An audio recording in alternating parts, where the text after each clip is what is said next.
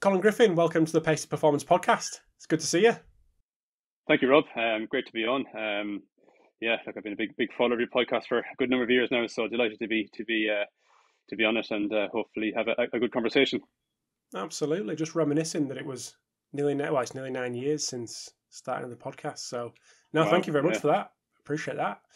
Um, so it's great to get you on. We're going to use, like I've done with a couple of people recently, actually, use the article that you published on Sportsmith as a bit of a foundation for the chat, and we'll delve a little bit deeper into some of the some of the exercises, some of the principles, some of the thoughts, theory behind behind that article in the podcast. So really looking forward to having a little chat. Calf strength, foot strength, all the kind of Achilles uh, rehab, all kind of good stuff. So just before I do dive into that, would you mind just giving us a bit of a, a bio on you?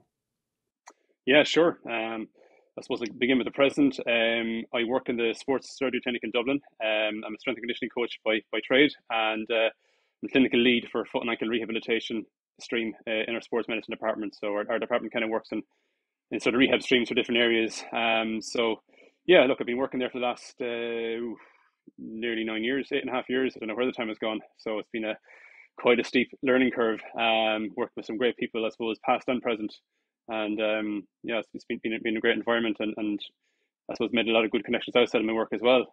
Um, stemming back a little bit, I grew up in, in a sporting household. Um, both my parents were involved in athletics. My mum was an international runner. Uh, my dad was more into the coaching and admin side of things, so that was the environment I grew up in. Um, so from my earliest childhood memories were, were going to watch my mother compete, compete in races. Um, you know, she was quite close to qualify for Olympic Games you know, so she she operated on, on quite a high level. Did a lot of innovative, innovative things in her time, you know, like plyometric training, altitude training, and all that. Um, so that was I, I suppose a very early exposure to that. Um, my dad then he was um, director of coaching for Athletics Ireland as it was uh, as it was known now back in the sixties and early seventies, and he was team coach for the Olympic Games in seventy two and nineteen eighty, and then went on to become president of our federation um, in the early 90s. So there was plenty of like coaching manuals lying around the house, plenty of magazines, plenty of videos. So I was kind of getting immersed in that at, at a young age. So as well as being an athlete, um, which was hard to avoid in, in that environment, as also a, a, student of the sport. And yeah, look, with the sport, of my parents uh, and, and, and wider family enjoyed a, a, quite a fulfilling athletics career. Um, compete internationally, junior level up to senior level, and, and two Olympic Games. Um, and I would say like I, I wasn't the most technically gifted athlete. Um, I had to work hard to try and acquire technical mastery, um, even though I competed in, in a technical event. So um, that I suppose led me down, give me I suppose the curiosity for human movement. Um, whether it was trying to sort injuries, whether it's trying to improve technique or biomechanics, and I suppose getting a passion for I suppose the work I'm doing now, and definitely fortunate to work with um, a lot of good practitioners, physios, S&C coaches, sports scientists in my own time as an athlete who were quite helpful to me and and also I suppose to connect to people too. Um, as I as I, I suppose transitioned into my my professional career. Um, so I retired from elite sport in, in 2013. Um, probably having I'd say underachieved, but uh, but at the same time I had my chances and opportunities, and I probably gave as much as I could to the sport and, and to my career. And I suppose at the stage that stage I had I suppose other career and family decisions to uh, to to to uh, um, weigh up. Wow, I knew you'd competed, but why did I not know that you'd competed at Olympic Games? Uh, I don't know. um, it's a long time ago now. It's, it's, uh, tell more people like, about it, Colin. it's it's it's it's out there. Like it's a, it's a, yeah. it's a very old chapter in my in my uh, at this stage, but um, yeah, great experiences, and, and look, I'm, I'm very fortunate for um, the opportunities I had in the sport. Like I did, my uh, um, my event was a 50k walk, so as I said, a technical event, you're um, you know, it's judged strictly enough and a bit like refereeing, um, quite subjective. And you know, I was disqualified actually in both Olympic Games. Um, London was particularly difficult because I was actually in really good shape. I was competing for a top 16 position and on course for big PB and, and, and got my third red card just before the 40k mark. So, um, so look, all those things, I suppose, you know, gave me the, I suppose, the curiosity and, and, and the hunger to try and um, understand movement better, understand biomechanics, and try to problem solve better. And I suppose what I couldn't do for myself, I hopefully can help. I suppose try and do for others that I'm fortunate to work with. Interesting. So, where did your interest in lower limb come from? Because that's the way you've gone for your PhD, and that's what we'll chat around today. Why, why that area particularly? Yeah. So when I started working in the clinic, um, I was kind of um, dealing a lot with, with running injuries, and a lot of our running injuries are lower limb. Um, so I think from the hip and particularly the knee down to the ankle and, and, and foot. And so we saw a lot of um, calf injuries, and not all of them are calf strains. Some of them are, are kind of like exertional pain injuries, like basically an overload to, to a muscle that has probably poor capacity. Um, saw a lot of Achilles tendinopathies quite early on, and um, sort of taking a few on, um, and sort of took an interest in the area, got some good outcomes. Um, definitely, I suppose, realized I needed to learn a lot more about it, and over the, I suppose, subsequent few years, developed a bit of an interest, a research interest in it, and developed a few research questions, and um, I suppose to the point where I undertook a PhD in the area, and hopefully now coming to to the end of it in the next uh, two months. I spoke to Phil Glasgow.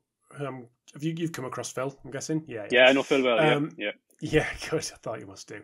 Um, and he was talking about in, in the podcast I did with him a couple of weeks ago that this, this transition in certainly in his environment from lots and lots of hamstring injuries two, three, four years ago. Obviously, lots of research in the area, but that seems to been they them injuries now seem to manifest in in the calf and Achilles issue into calf and Achilles issues. Is that something that you're seeing? And if so, do you think that's is there a particular reason for that? Yeah, I think I suppose Phil is referring to the um, I suppose incidents of, of, of, of higher incidents of calf injuries that seem to have mm. now caught up or surpassed the, the, the incidence of hamstring injuries in, in, in rugby, particularly in the, in the Irish rugby setup um, among the national sides and, and provincial sides. Um, I think actually I was listening to that podcast and Phil made a very relevant point about um, perhaps the lack of exposure to, I suppose, a certain volume of running might be just predisposing the calf to, I suppose, having poor capacity and, and maybe a, a higher risk of those type of injuries. Because um, as we know, the, the calf and the soleus, um, you know, they, they operate at quite a high capacity of uh, high, high proportion of their of their muscle capacity or force capacity at even you know slow to moderate speeds and um yeah I suppose the shift in the last 10 years towards um you know high intensity interval training as a means to almost cheat the aerobic system into getting fit quite quickly and and that um it just you know it, it just might be under exposing the calf the musculoskeletal demands um of, of, of those sports even field sports where there's a lot of time on your feet even though maybe a low percentage of it might be high speed running or moderate speed running but you know the time on your feet does add up and, and those lower limb muscles particularly the calf are they're always on. So i think um that might be part of it. Um and i suppose traditionally S&C programs haven't really focused deliberately on the on, on, on the, the calf muscles, you know, um, in terms of strengthening and, developing capacity, um, and maybe relied on, on, a lot, maybe more on plyos and other exercises to, to, develop that, and, and which you do, but for some athletes or players that mightn't be enough, and they may need that little bit of deliberate exposure for, you know, six to twelve week blocks in, in the preseason or, or certain times of the year. So just keep stay on this area, stay on the calf, and again, re- referencing the article, assessments. What assessments can we do to identify whether this is an area that needs uh, needs additional focus? Yeah, and I suppose in the last um, you know a couple of years, with, with I suppose the more easy access to force plate technology, and, and I suppose becoming more affordable to a lot of um, clinics and clubs and organisations and universities. Um, it's probably easier now to start standardising calf tests, particularly seated calf isometric uh, test so that's one that we use. Um, and obviously, when we bend the knee close to 90 degrees, we're, we're isolating the soleus a little bit more. Um, because as, as we know, the, the gastroc muscles cross the knee joint. So when you bend the knee, we're making those muscles shorter and they're uh, and, and, and a little bit more redundant. Um, so that's one way of, of assessing um, calf strength, particularly for the soleus, which again is quite important for field sports um, and even you know in, in sprinting where during the acceleration part of it where the soleus is a big player and also for distance running as well, because um, the soleus is a big supporter of the centre mass. Um, and as I said, operates at quite a high capacity. So that's probably one test that, that can be standardized across uh, many areas. And again, there's a little bit of uh, inconsistency, I suppose, in terms of knee angle and levels of ankle dorsiflexion um, you might set up with. And um, so I suppose a few areas there that probably just need to be um, fleshed out a bit more. And then I suppose to get a measure of total plantar flexor peak, uh, peak torque or peak force, um, we use a, an isokinetic test, um, lying in a prone position, so face down, legs straight, um, at a speed of 30 degrees a second, um, working from 30 degrees plantar flexion to 10, 20 degrees dorsiflexion, um, and measuring peak torque, and we kind of scale that to body weight. And say for distance runners, we'd like to be, you know, 150, 160% body weight and above, and for our um, sprint athletes being getting close to 200% body weight. We don't get many hitting that, but that's, I suppose, from the numbers we've, we've, we've, we've collected over the years, that's sort of the targets we, we try and set based on um, uninjured athletes we work with and also fully rehabilitated athletes that we've, we've managed to progress up to, up to that. Um, but obviously, not everyone has an isokinetic dynamometer, so um, you can do the uh, even a, a straight leg standing straight leg isometric test with the force plates, um, you know, which is part of um, some of Alex Natera's work. Um, the challenge there, I think Alex actually found a solution for that by actually using a block where you can, because when you stand on, on the force plates, um, it's still a compound movement, so it's hard not to involve the knee extensors and hip extensors, and you don't know how much of that is coming from the plantar flexors. So when you use a block and get your alignment right and get more leverage through the ankle, um, you can probably get a, a better reflection of the of the of the calf um, contribution to, to, to peak vertical force. Um, and again, as, as a I suppose a surrogate measure of, of, of total uh, plantar flexor or calf force. So those are the two sort of strength tests or, um, that we would we would look at, and then we'd also look at developing uh, or look at assessing capacity, whether it's doing um, even the isokinetic um, dynamometer set. And Neil had a a good test that he validated during his PhD, where you just do uh, 20 reps um, and measure total work done as a measure of calf capacity, or in a very, very basic clinical setting, do like a heel raise endurance test where you work off a metronome of one second up, one second down, trying to have consistency of height, consistency of tempo, good control of the rear foot. And when either of those diminish, you stop them. And if they can get to 30 reps before that happens, that's a good measure of calf capacity. Um, maybe minimum 25. Uh, and if they're below that, then there's probably that they probably need to work on their capacity. And you use that then to, to, to, to, uh, to uh, set your programming. Would you mind just, just describing that seated isometric test for, uh, as, for, for us again, Colin? Yeah, yeah, I mean, uh, yeah, so there's a, there's um, I have a picture of it in, in, in the article. Um, but there is. Yeah, but no, to talk through it, like yeah, so we we sit we sit them with the knee around, um, so the knee sort of over the the, the shoelaces, um, in about I kind of go for ten to fifteen degrees dorsiflexion. Um, I think you need some bit of dorsiflexion to get a, a proper measure of, of uh, peak force in the soleus. It, it, does. Um, you know, you need a little bit of length in the muscle tendon unit to get that. Um, and then have the, the knee around you know 90 degrees uh, knee flexion um, and then have the base of the first metatarsal on the block um, and then just uh, and then we use ratchet strapping to, to strap the knee down so there's very little slack in the system um, so we just make sure that we, we give them a few familiarization trials and if there's any any loosening of or any um, loss of tension in, in, the ratchet we just tighten it again so that when they when they do their, their their their test trials it's good and tight and they're able to maintain their dorsiflexed ankle position and we would go for three trial three um, reps of a five second maximal isometric effort and take the best out of the three. And it's the forefoot on the block with the block on four foot, yeah, from, from, yeah, from, yeah, from the base of the first metatarsal upwards. Um, yeah, and then the obviously block on the force plate. Yes, so yeah, exactly. Yeah, yeah. so we weigh the okay. we, yeah we weigh the block on the weigh the force with the block on them and, and uh, calibrate from that. Yeah, it's interesting because um, Phil mentioned the, them using this as a, as a test, as a, a, monitoring tool, not only for capacity but monitoring fatigue in this in this particular area because of the rise in in uh, calf and Achilles issues in in Irish well rugby as a whole, but Irish rugby in his environment. So yeah, kind of feeds into that discussion as well. Yeah, and and it's when you get into a flow like it's actually quite a quick and easy test to administer. You know, you can be done in ten minutes, and it's not that invasive. Like you, you know, yes, you're working hard for those few seconds at a time, but the soleus is a, is a it's predominantly type one fiber muscle, so it's going to recover quite quickly, um, and you can go on about your business for the rest of the day. So, and, I'll, and I suppose if you are in, in, an environment like in a professional sport, um, where you can do that on a weekly basis or or, or whatever, um, you know, you you can it can be a quick test to do on a Monday morning, and you know if someone's a, you know, a little bit off where they normally are, where their baseline levels are, it might be then a a, a, a flag then to, to, to monitor their or to adjust their training loads for that given day or, or, week. So we've taken our athlete through this testing battery. We've identified that things are lower than they should than we want them to be. Next stage is obviously strengthening that particular area.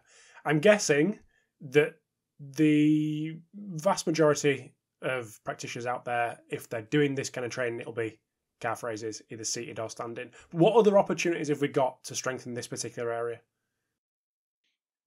Um, ideally, um, a Smith machine or a leg press, you know, where you can really go heavy on the calf, on the calf and isolate it um, and be quite stable, um, which is it's kind of hard to replicate that with a free bar, um, or an, and it's quite hard to hold a heavy dumbbell um, if you want to go really really heavy. Um, So I suppose if you have access to, to those, there's a lot you can do. You know, you can do quite heavy concentric eccentric or go heavy isometric for the short repeated, repeated holds, or you can go like your super max, supra maximal eccentric. Um, but again, you really you need your, your leg press or uh, and or, or Smith machine for that. Um, but if, if okay, if someone comes in with a low baseline, you know, we just do some basic stuff, maybe like sets of eight to 12, four sets of eight to twelve reps, you know, with a, with a two rep in reserve sort of um, uh, loading guide. You know, just work the calf to fatigue. They're going to get they're going to get better with, with that for a start, and then it's where do you go next? Um, and that might that should develop calf capacity. Sometimes, you know, again, you might just pick up this visually. Um, they might be lacking. Um, they might have some atrophy to either their medial or lateral gastroc on one side or both sides, or there might be it could be natural medial gastroc on one side and their lateral on the other side. But very few cases of that. So you can manipulate foot position to try and um, uh, bias those mus- that particular those particular muscle heads um, and work it work it to to fatigue and into length to try and get those hypertrophy um, changes and, and, and, and I suppose balance out the strength a bit more across all three. Um, so yeah, um, they will be the I suppose the main uh, the main exercise types. Um, again, if we have to target the soleus, uh, yeah, we do some isolated stuff with, with an event. So either very very heavy kettlebell or else um, Smith machine, or ideally if you've got a seated calf machine, you can go really heavy and be quite stable. Um, and again, with the soleus, given the the physiology of the muscle, um, you know, you can still make good good strength changes, um, even working to endurance off moderate load. So you can still, if you just make the muscle tired, it's going to get stronger anyway, um, to a point. And then it's like you, know, you might get to a point then where you hit a ceiling where you may need to go really really heavy for for, for low volume to, to to increase the force capacity even further. Um, but, but it just depends. Comment. No, you're okay. No, I'm just saying you use your, your tests, um, your straight leg and your bent knee, your, your seated um, calf test to, you know, if your seated uh, calf test is quite good in proportion to your straight leg one, well, then we might need to worry too much about the soleus, unless maybe in field sports, uh, field sports where acceleration is quite important and you are going to use the soleus a little bit more in isolation, um, particularly in the early to mid stance of an acceleration or a jump or horizontal, some sort of horizontal effort. Um, I think it's useful to, to do that and, and, and train it, as I mentioned in the article, in synergies with the foot and, and, and with hip extension. But say for a distance runner, um, you know, if, if the soleus is quite good and you test it, um, and there's maybe room to improve their overall calf strength, well, then we just go straight leg and, and, and keep it simple. Um, because again, time and energy resources are going to be valuable to well most athletes, but particularly endurance athletes when you're you're always going to be tired anyway, no matter um when you try to do an S&C or rehab session. We'll get onto the foot in a second, but just one last thing: would you be looking for a particular ratio between this um the isolated soleus and the general calf complex test? Yeah, it's hard to because in, our in, in our clinic we're comparing a seated. You'd be comparing a seated calf isometric with a with a a straight leg isokinetic test. So, yes. in fact, I suppose through coincidence, the numbers are actually similar. We look for about for a distance runner, maybe at least I would even say now, like we test a lot more and, and, we're more we're more more robust with our with our protocols. We're getting higher numbers now because they're more stable in those positions. So we've seen more people hit twice body weight and more people and, and maybe more sprint or explosive athletes getting you know 2.2 times body weight so in the article I would have said back then 1.6 and maybe twice body weight for distance runners and, and, and maybe sprint athletes respectively but now i would be kind of thinking maybe 1.8 and ideally twice body weight for a distance runner who wants to compete at a decent level and maybe 2.2 and above for your your sprinter athlete or field sport player um so yeah it's hard to say there's a proportion when you're when you're comparing an isometric with an isokinetic test um so but again for the iso, isokinetic test um, straight leg, we're looking at um, you know 160% body weight for your distance athletes and maybe close to 200% body weight for um, explosive athletes. And then we're also able to run a, a code um, to look at torque at different ranges. So someone might, might have good peak torque, um, but they may have big asymmetries in either slightly plantarflexed angles or slightly dorsiflexed angles, and we can um, focus on, on, on, on, I suppose, joint angle specific um, strength changes based on that. I don't want to bring it down to my level, but I'm sure there's people out there. Just explain explain that a little bit more for us. The peak torque. Yeah. So um, yeah. So basically, like it's like the turning force um, you, are you're, you're producing. Um, so it takes into account the the the, the ankle um the, the, the moment arm. So uh, as well as the force you're producing. So um, we scale peak torque to body weight. So we divided the torque in newton meters by your body weight. So and again, we're seeing good numbers in the sort of high hundreds, so 150 to 200% body weight across the board. And we just kind of break it down a little bit more to sprint athletes uh, and maybe field sport players versus your distance runners. Um, again, we, we do see a bit of a hybrid of, of, of, you know, we see some people you'd expect big numbers from coming in at maybe 120% body weight and maybe skinny distance runners coming in at close to 200% body weight. So there's a little bit of a hybrid with that as well. But anyway, um, so we measure peak torque, um, which usually happens in, in, slight length. So usually happens somewhere between zero degrees or neutral ankle, maybe uh, between that and, and maybe 10 degrees dorsiflexion. Obviously, you need a bit of length to produce your, your peak force or peak torque. And then we measure torque at 20 degrees plantar flexion and 10 degrees dorsiflexion. So particularly for someone who's had an Achilles rupture, where they're going to be weak in, in inner range plantar flexion, we see big deficits there, and it takes a long time to to um, to address and, and, and reverse. And I suppose you can you probably only get so far with that. Other cases, you might see someone who's quite weak in at more dorsiflex angles. Um, so 10 degrees dorsiflexion, there might have maybe a 20% difference, even though the peak torque might look symmetrical. So we can use that those findings to get someone if it's if it's an inner range plantar flexion deficit, do some inner range isometric work, um, and load them there to try and strengthen in that area. Or if it's a dorsiflexion, uh, a dorsiflex angle deficit, um, you know, work them into into length into into a sort of an eccentric loading um, scheme, or else uh, do some long length isometric holds to to get them stronger at that angle. I hope that makes sense. You know, yeah, I'm following. I'm, I'm, I'm i think I am. I'm following. no, thanks, mate. Appreciate that. So you, you, you mentioned you mentioned foot strength. I think this is a really interesting area. How are we assessing whether we need to isolate or have that isolated type of training in our program, or should it be across yeah, the board, even without any yeah. assessment? Um, yeah, no, I mean it is quite important, and it's not something that has been done um, traditionally outside of, say, a clinic a clinic environment. So um, it's not something that's that's I suppose typically done in an S&C program. Um, obviously, I see a lot of feet. Um, and look, I mean, I've, I've, I've there's a lot of there's a lot of um, I've had a lot of good practitioners that I network with, and and, and who specialize in foot area that I bounce ideas off, and you know, so we when we get when we kind of talk back and forth, I suppose uh, good ideas can emerge from that. So um, yes, what I've done is developed, or I suppose, um, developed a test with a handheld dynamometer, um, where if you um, test them in with a slight dorsiflexed an- ankle angle and dorsiflexion of the first MTP joint, so the big toe joints that you lift the big toe up. Uh, so they're at a long length. You're getting a measure of their flexor hallucis longus, which is quite a one of the important extrinsic foot muscles that that um, has a role to play in terms of inner, um, a, a, a toe off. Um, and then we would do the same thing with more of a plantar flex angle to get a measure of the intrinsic foot muscles. Um, so we're making the flexor hallucis longus short and a little bit insufficient. So we're getting more isolated measure of the intrinsic foot muscles, which are actually quite important. And they have a big role to play in coordination of the foot, to stiffen the foot at the right time, um, for propulsion of toe off, you know, so particularly for acceleration, for jumping, you know, the particularly um, the, the, the muscles across the big toe are, are, are have, a, have quite a significant, small but significant contribution to, to, to those type of to performance, um, you know, in, in sprint and, and, and jumping and, and, and push off uh, positions.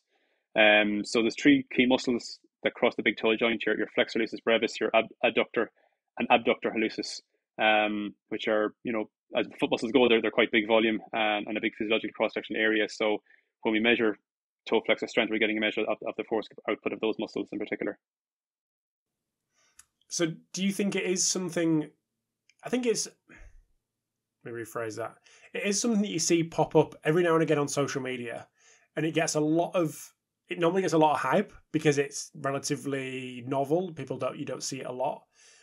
But should people, given the time pressures of people like yourself, or pre 2013 Colin with with training team sport athletes who are getting a minimum time in the in the gym to develop all these different things but should do you in your opinion should practitioners be focusing on this particular area more than they are? Yes at least you know screen for it and if someone is weak in that area and they have a history of lower limb injuries. You know i think it's an obvious low-hanging fruit to try and address. Um, you know, if you've had a history of recurrent foot or ankle injuries or even calf injuries, um, yeah, I think it's quite an important area to, to, to, to, to look at. Doesn't take that long to assess it. You can even, you know, if, you, are you know, if you have enough experience, clinical experience behind you, or even just practical experience, you can get a manual feel of the toe flexor strength. A lot of the time, it's just muscle inhibition. They, they are those muscles are quite uh, prone to inhibition for different reasons. Um, you know, so oftentimes I just build in some foot foot exercises, more of an activation into the warm up, Um, so you've got better contribution of those muscles in, in, in those bigger sort of compound movements. Um, sometimes you might, might use um, neuromuscular restimulation to, to, to try and increase the activation of those muscles.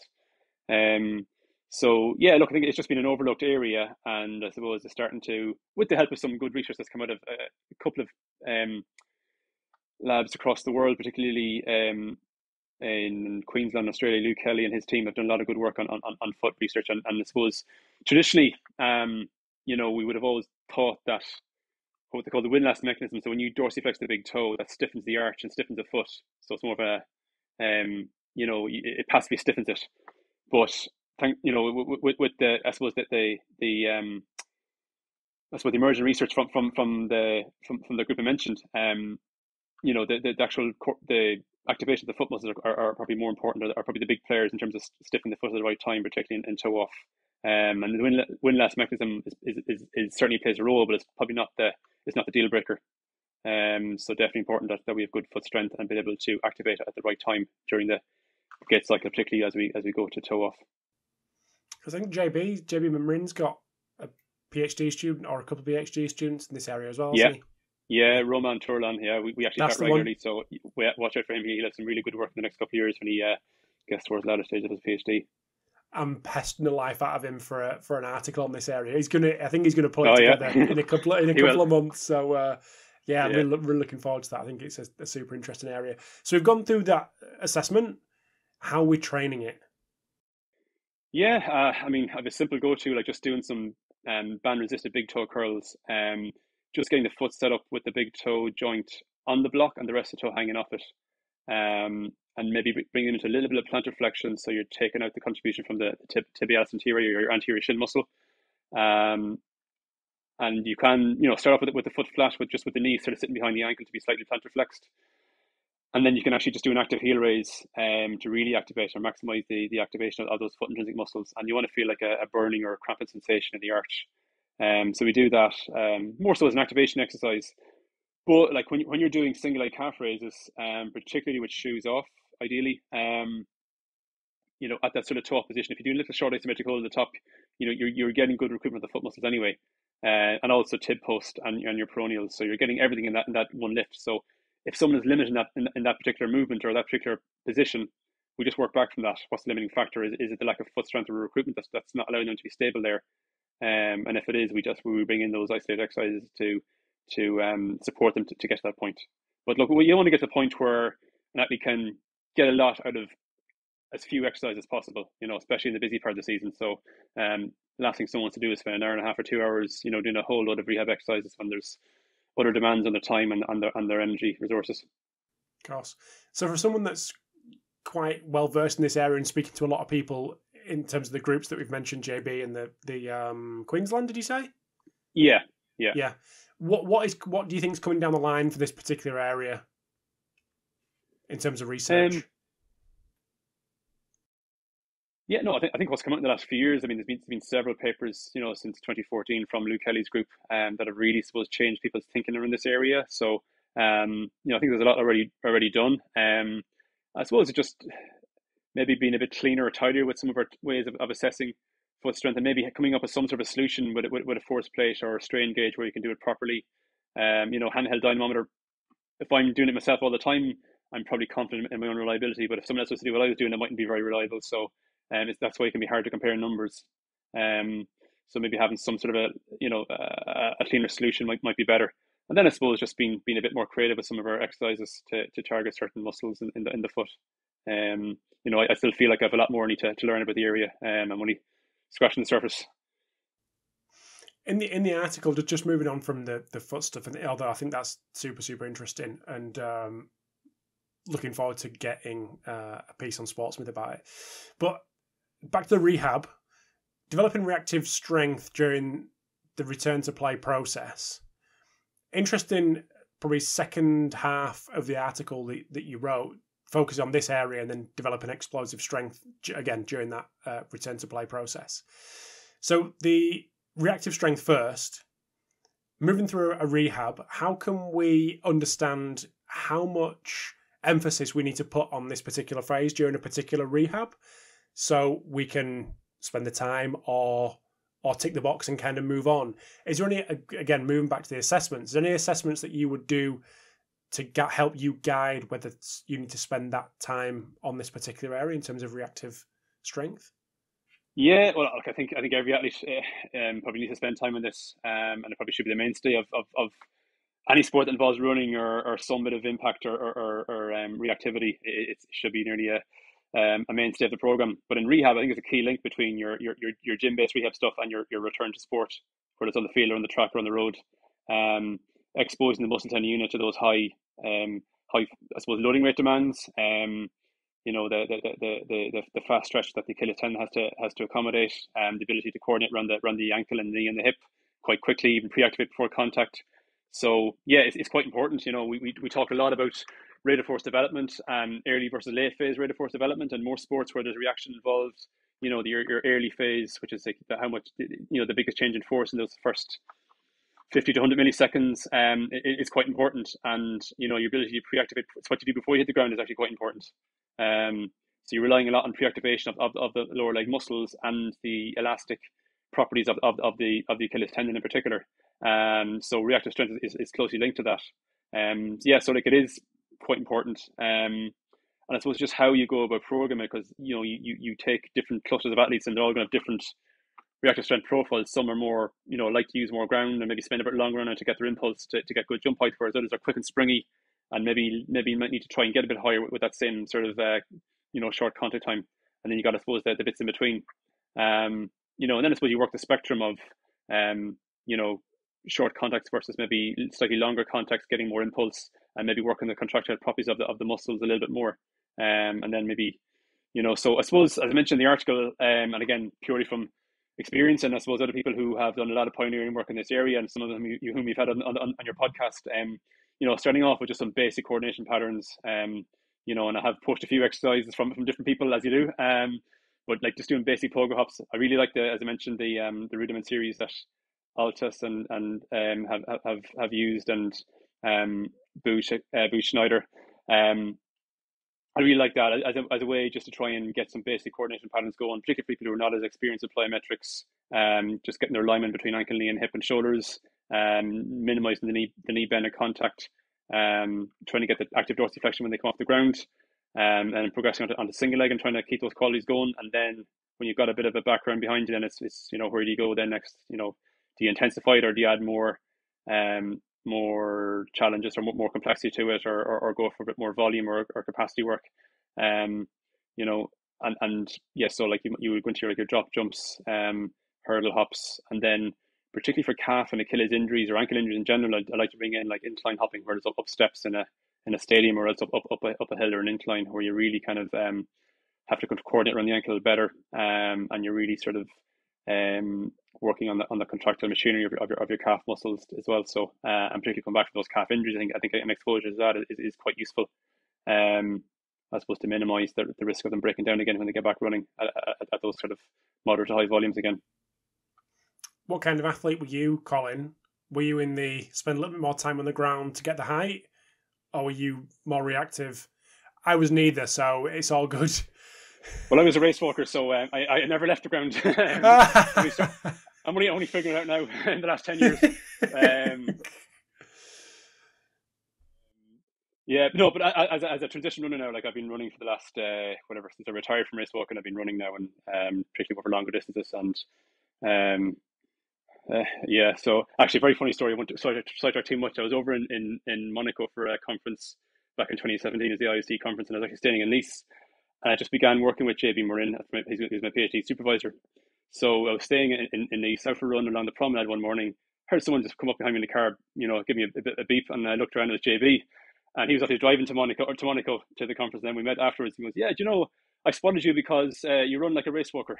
so, uh, obviously not a good thing in his eyes. yeah, but that was early days. But uh, I've probably got a little bit bouncer since then. But um, yeah, yeah. yeah. But, um, I did. I didn't realize he was. Well, I remember did actually. But now I think about it, he was your PhD supervisor. He is. Yeah. Yeah. Yeah. Yeah. Um, okay. Yeah, because I'm, I'm I'm registered to University of Côte d'Azur, um, which is like a doctor school that takes in um, a university in Nice and Marseille. Um, so yeah, so JB's my supervisor. Although he's left, um, he's, he's moved back to University of Saint-Étienne since then. But that um, doesn't change. Uh, yeah, it doesn't change things for me. But yeah. How many times have you been out there? Um, maybe once or twice a year pre-pandemic, whereas now I suppose I'm able to manage things remotely. All my all my work is done in, in Dublin. All my data collection is done in the, in the clinic. So um, everything else then can be done through through Zoom or whatever. So um, hopefully the next time I'm back there will be for my my uh, PhD defense in hopefully before the end of the year. It's beautiful out there, isn't it? Yeah, it's a lovely part of the country. Yeah, it's, it's so, uh, yeah, so really nice, especially in the summer. Yeah, absolutely. Um, so explosive strength. Moving on from reactive strength to explosive strength. Again, something you mentioned later on in the article. Assessments during the return to play process. How much time we need to spend on this, or we just tick in the box? What what assessments would you run your athletes through to guide this next part of the return to play process? Yeah, I, I think even a simple thing like hop for distance because um, you know, we, we know from some of the papers that came out of a group in Aspetar back uh, in the last two years, um, and was more focused on the the um, you know the usefulness or, or lack of for using something like hop for distance in ACL rehab, um, particularly during the propulsive phase, because there's, there's probably a lot, a lot less knee contribution during the propulsive phase, a lot more maybe during the landing phase, where the knee is more of an absorber. Um, but from that, when, when they looked at the joint work contribution, there was, a, I suppose, the ankle and hip are, contribute the most to, to, to um, the propulsive phase of, of a horizontal hop. And when you look at the muscle forces that they measure, the soleus is by far the biggest force contributor. So I think if you're doing a single hop for distance um, test, you're getting a good measure of um, explosive qualities from the from the soleus muscle, and uh, particularly especially when you're going from a bent knee position, because um, you have an accelerated center mass, um, which is a which the soleus is, is, is the has a big role in that. Um, so that's probably one way. Um, probably the I suppose the simplest way to do it uh, as an assessment. Um, as part of my PhD work, I've tested the reliability and looked at some of the biomechanical features of a, of a single leg horizontal rebound. So it's like a, a I suppose a double single leg hop. So we hop on the first base and rebound for distance. Um, and we looked at a lot of variables like um, and we, we, we actually looked for I suppose trying to propose a which some have kind of touched on before. I'm not saying we, we pioneered this, but just trying to maybe strengthen the case for using a horizontal reactive strength index as a horizontal alternative to a, a vertical reactive strength index. So measuring rebound, dividing rebound distance by the contact time. Um, so we looked at we, we, we looked at that. Um, we looked at um, leg vertical and joint stiffness, and we looked at uh, hip, knee, and ankle joint power and joint work, um, and and the joint angle changes. And similar to the hop for distance um, paper um, in Aspetar, um, the ankle um, you know, had the ankle and to slightly slightly lesser degree the hip had, had the biggest contribution to to um, joint work and, and power. Um, and then the knee obviously had, had a lower contribution, but it was but it had the highest. It was, it was the one joint that had the highest higher stiffness than say the ankle or the hip. So um, so yeah, any sort of horizontal um jump um will give you a good measure of lower limb explosive strength qualities. Um, and, and you will get it from vertical too, like so something like a squat jump or a um, countermovement jump, you're probably getting a good measure of, of explosive qualities as well from, from from the from the lower limb, particularly the calf. So um, yeah, I think either either or, and then there might be there might be some um, logic between using maybe one vertical and maybe one horizontal one, depending on the on the sport you're working with. Just the horizontal RSI, so hopping onto the force plate and mm-hmm. then going for distance on the yeah. on the rebound. Okay. Yeah, and, and trying, and trying to minimize using that as the ratio. Okay. Exactly. Yeah. Yeah. Is there has that got any? I know you said you're not. There's been other work before you in this area, but is that got more um, performance related information that could be taken on further by yourself or others? Uh, look, it's purely exploratory. I think I think it's something for it, it's it's um, something for someone to uh, to take up and maybe and maybe um, yeah uh, investigate further. Um, we don't have anything to, to correlate with those type of um, outcomes with, with performance, but um, but again, if you're a jump athlete, you know, if you're a long jumper, triple jumper, um, I think for acceleration, um, I think there might be some, yeah, there might be some potential there to to, to uh, link those qualities and, and use it as, as a measure of it. So return to play process, done the assessment, explosive strengths, the aim, where we're going with it to to build this athlete back up to then back into back into training. Yeah. Um, yeah, I mean, you know, as soon as they can run, do some basic linear running, we, we bring it in, um, even if they're only at basic sort of plyometric level.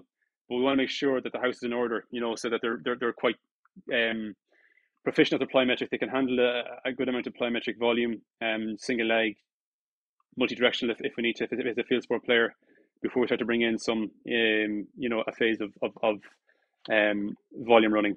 Because um, it's the return to run phase, particularly for calf injuries, um, where, where things can flare up again, you know, and there's always at risk of the of a calf injury because you're dealing even with a muscle injury. it's primarily tendon tissue that's involved, and tendon tissue takes a lot longer to remodel.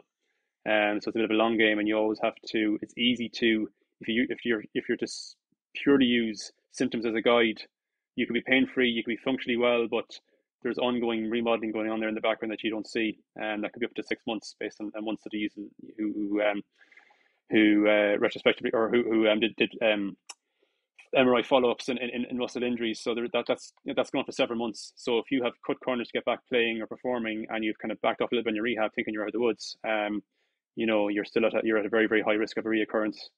Um, so so I think it's really important that we we um expose them to a good level of reactive strength work and a level of volume running. So maybe depends on the sport, obviously, but um, distance runners are going to build up their volume anyway. But for field sports, you know, maybe having exposure to um, a moderate amount of volume at a, at a you know moderate to high intensity um, for a phase before we can be um, I suppose comfortable returning them back to their to, to, to competition. How how important is it to be super careful post calf injury in that introduction back to running? Unlike something like a hamstring, where you get up to high speeds to to get into that danger zone. Yeah, yeah. you're in it straight away. It's almost like the reverse. So, like obviously with a hamstring, you can probably get away with like low low intensity, moderate intensity running. I mean, uh, again, without deviating too much, I had a hamstring injury before a marathon back three years ago, four weeks out, and it was a grade two B, so it was a myotendinous junction, um, bicep femoris, and I was quite aggressive with my rehab, and because I was rehabbing myself, and I was, I suppose willing to take risks, and if I didn't make the marathon, you know, it was no big no big deal. It's a bonus if I could. But managed to get it resolved, managed to run a PB that that, that day. But I know if I was a sprinter, I wouldn't have got away with it, um, because I wouldn't have had it. I wouldn't have just been able to handle maximum speed running. But obviously, didn't have to those final few weeks for a marathon. So yeah, uh, but for the calf injury, particularly soleus, you can probably kind of go um short to long with, with your progression. Maybe bring them bring in some like short, not I would say sprints, but like maybe working eighty to ninety percent of their maximum velocity over you know 50, 60 meter repeats. Um, they can probably handle that. And while you're trying to build capacity concurrently, um, and then you can, I suppose, start to increase their volume, you know, uh, gradually over a, you know, a week or two. Um, so you can kind of go um, short to long with, with those calf injuries, whereas with hamstrings, you probably have to go sort of, you know, gradually slow to fast, um, you know, and making sure everything's in order before we bring in high speed running. Cool. And your PhD in the end of Achilles? Achilles rehab? Achilles rehab, yeah, and lower limb biomechanics. Yeah. So, um, yeah. So, is there an coming towards the? Sorry, mate. Coming towards the end. Yeah. Coming towards the end, yeah. So, I'm, I'm, I've, I've one study to finish off, and I'm writing my thesis at, at the moment. So, hoping to have it submitted in the next uh, over the winter months, and hopefully have it have my defence um, before the end of the year. Um, so, yeah, it's been been a five year journey. Um, so yeah, the, the, the broad topic being Achilles rehab and lower limb biomechanics. Um, so we we have um, a couple of chapters in it. So um, two papers. Well, one, one paper would be the, the horizontal rebound test that I mentioned, testing the reliability and looking at the biomechanical features of that, which we have a paper in, in submission at the moment. And then another reliability paper for seated calf isometric test that we're just about to finish uh, and get ready for submission. And then our main study will be a RCT um, on runners, uh, people, um, participants who, who, who take part in sports that involve running. So it's not just distance running; it's, it's field sports. So any sport that involves running, um, who have chronic mid portion Achilles tendinopathy, so having symptoms more than three months, pain in, in, in the, the mid portion of, of the tendon as, as opposed to the around the heel insertion. Um, so we we give them we, we, we randomize them into into one of two groups. Um, so one program, one group follows a program that we put together that's um, based on two or three high intensity sessions a week um, multifactorial, so working on calf strength, um, plyometrics, um, guiding the running, and then another group follows um, a program that's kind of um, by by um, it's a Silbernagel pro- pro- protocol. So Karin Silbernagel is a prominent um, tendon researcher based in the University of Delaware, and her protocol um, it's kind of similar nature in that, in that it's, it, it's, it, it, it has multi exercise types. So, you know, um, combined concentric, eccentric, and so on bring in plyometrics, but probably a little bit less specific in terms of how you progress it. So it's kind of it's more kind of based on symptoms, whereas we're kind of hit certain strength targets um, to, to guide progression. Um, uh, you know, to a maximum level of tolerable pain, as opposed to just relying on pain to, to progress. And we test them at start, and then at week six and week twelve, and then we do long term questionnaire follow ups. So we look at the running mechanics and using three D motion capture.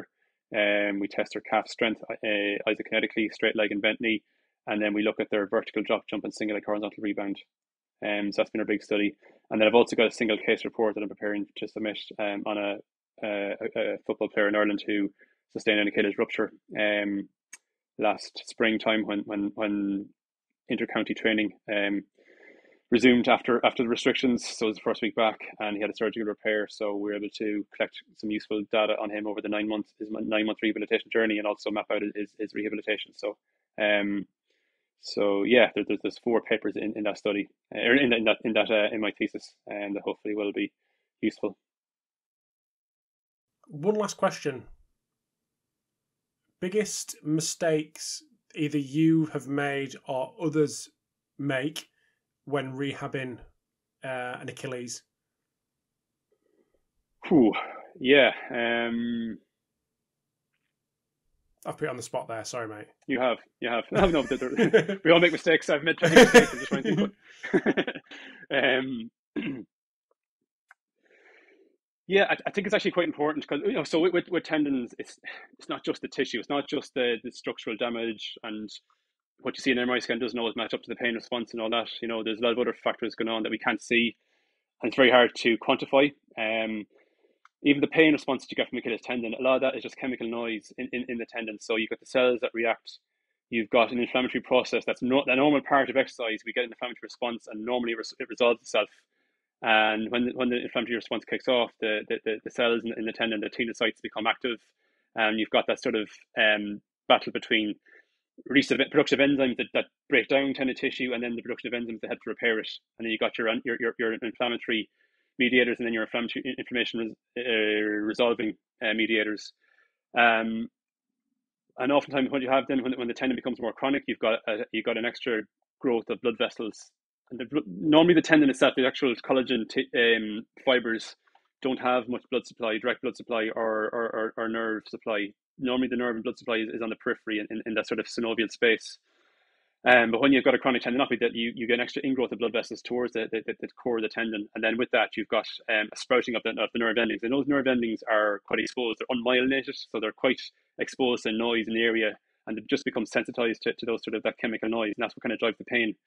Um, so that's a tricky one. Um, and then you've got people, you know, you've, you've got, you know, there's a nice paper there by, uh, again, it was in, in Shawn Hanlon last year. He's part of the Karin Silbernagel's group in Delaware, where he categorized three different subgroups of, of, of patients with Achilles tendinopathy. Those who are more structure dominant, so it's pretty much like a mismatch between load and capacity. And those who are more biopsychosocial dominant. So again, there's a lot of fears and, and catastrophic, uh, catastrophizing beliefs around the, around, around the symptoms, and that can um, increase the, I suppose, the sensitivity of the tissue and, and, and, those nerve endings, and then maybe those who are more metabolic, which are probably the less sporty people, um, because the tendon can be sensitive to other things going on in the body. So I think, I suppose, to get back to my main point, one thing I probably learned over the years is to try and understand what the patient thinks or the athlete thinks is going on, what, the, what their understanding of it is, their process is. Because um, a lot of them will fear that they're going to rupture, and sometimes, you know, yes, when you rupture, there, there probably is some pathology there that you mightn't see um, that might be um, make them a little bit more vulnerable. Um, but when you are sore, you're probably not going to do things that are going to cause you to rupture, like doing something fast and explosive. So that, that pain can be a little bit protective. So trying to break down that barrier. Um, but yeah, just definitely trying to involve the patient a lot more. And I suppose um, that's one thing I probably learned over the years, try to understand what, what way they're thinking. And if it's irrational, try in, in, in, in a very careful and sensitive way, try to break that down and, and, and work, work through it. Love it. Sorry to put you on the spot there, but dealt with like a true yeah. professional. but no, thank you for coming on, Colin. If anyone wants to keep up to date what you've got going on, PhD wise, other stuff going on, running, etc., where's the best place? Twitter, Instagram?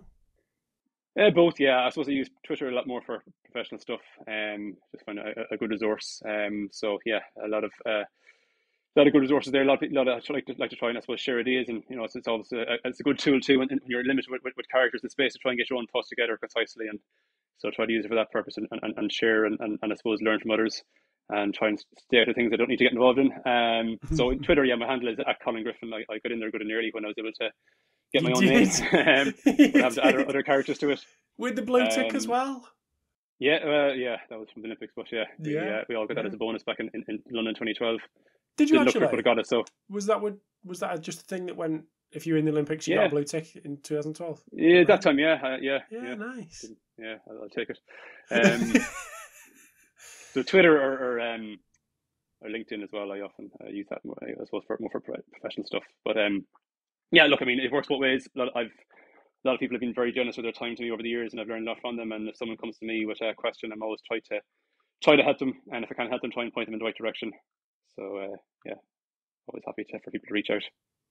Awesome. Well, thank you for the last hour. Really appreciate your time. It's good to put a uh, face to a name and face to an email address and all that kind of stuff. So um, yeah, look forward to keeping in touch and we'll chat soon. Yeah, it's been a pleasure, Rob. Thanks very much for having me on. It's been, been, Cheers, good Colin. to chat. Thanks, mate.